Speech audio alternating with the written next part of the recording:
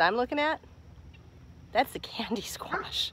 It's doing amazing. It's been a bit since we've done kind of an impromptu tour in the garden. I'm trying to not drop my garden watering wand here. Um, well, we, I didn't accomplish the expansion that I was planning on, which is, I'm going to show you here, I don't want to get you sick. Behind me, it's all the blue. That was the expansion. Um, just couldn't make, couldn't swing it this year with the sheep being born and all the new things going on here. Um, but uh, Mr. Blue Jeans is building me two larger uh, raised bed containers, which you'll see behind me here in a second. Right there, that's the second one. Sammy and I are working on filling it. There's the other one, which contains squash and melons in it, so that's pretty exciting. Um, I have the tomato row, both sides are going along, sort of blew it. I used the holes that I had uh, used last year to plant in, as you can see on the other side here, and it, it's just too far away. I thought, oh, I'll go ahead and just put a, a string or a twine or something and pull the tomato up. Well, that's not really, that's not really what I intended. Let me see if I can get you over the fence here. That's not what I wanted. It don't look pretty. So next year I'm gonna poke new holes closer, like, like these guys are closer here.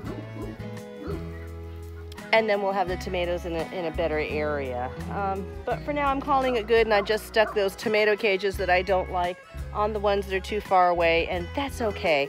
I want to show you my echinacea. Woohoo! Remember the video that I did about why we use echinacea? Well, let me tell you, that sucker that's overwintering with my forget about it technique. I forgot about it and it came back amazing and is looking like it's ready to bloom very soon. So that's exciting. Uh, we've got some hybrid melons in here. Two here at the end. The walking onions are doing their thing. I am extremely happy with the walking onions here. Take a peek at those.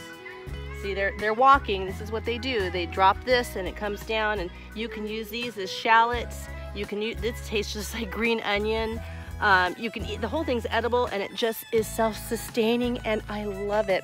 For now I have it in this smaller raised bed because the smaller raised bed turned out not to be as exciting as I thought it would be. So for now that's in there and then I think what I'll do is perhaps garden herbs will go in that raised bed. Things like tomatoes, peppers, I just don't feel it's big enough to handle those. So I think in time it'll just be things like thyme and uh, maybe basil or, or whatever.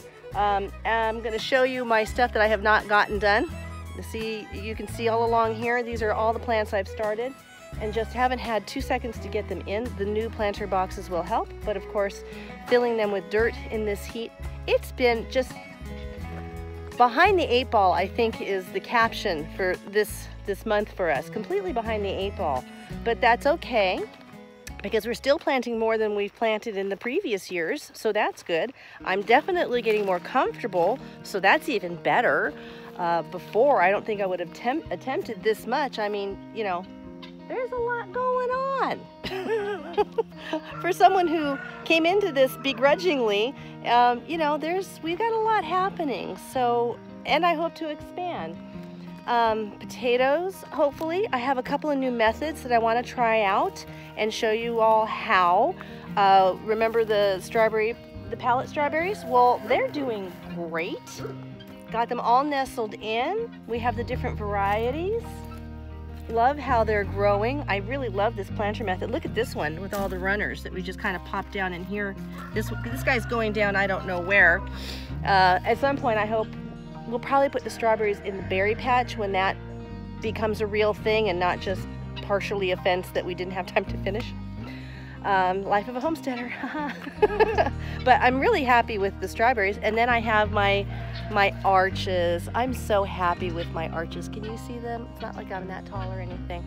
Um, and then the asparagus that I I'm going to say it, stupidly planted in our original raised beds, and now when they die back, I'm going to have to, to get them out. They have taken over everything, so trying to trellis the tomato, or the, the mushrooms has, really, mushrooms? The cucumbers, see this one's open, so that's easy, but these are all trellising nicely, as you can see, trellising nicely, right?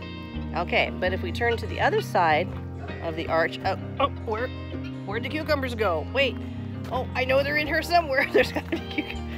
Yeah, there are cucumbers behind these giant asparagus, so they gotta go. And I don't mean goodbye. I just mean they, they need to come out, which is why I'm patiently waiting for them to do their thing, and then I want to take them out and transplant them. Uh, lastly, I bought 70 yards of tulle on sale at Joann's because the tulle holds up better than this fabric, which has already torn here. See that tear? Tulle's doing great. You have to be careful with it. We have gravel and I, I handle it like a wedding dress. I'm very careful with it, um, but it's lasted. Um, Cabbage bugs have been a problem.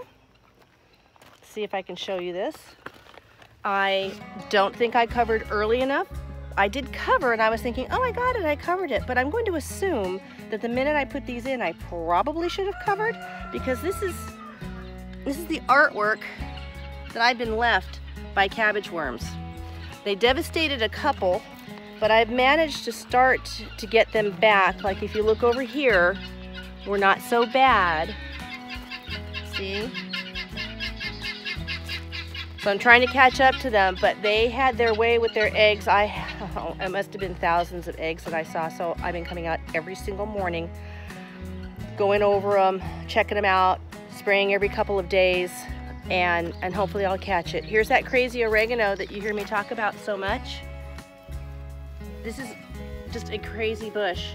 It's doing really well. Probably something else I'd like to eventually transplant because it's sort of taken over the raised bed and made such a large root ball that this whole area here and back is now all really hard oregano root.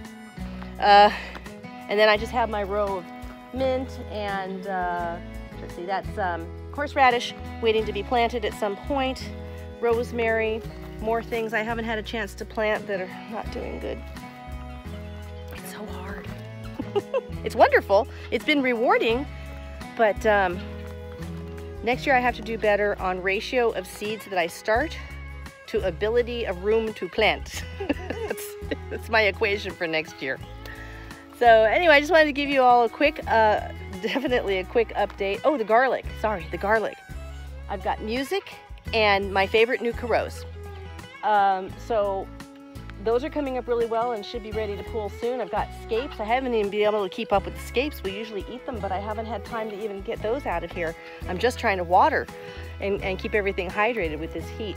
So we'll be uh, doing that new new planting thing soon for the tomatoes that are here. And uh, thanks for walking along with me on this little quickie update of the garden tour.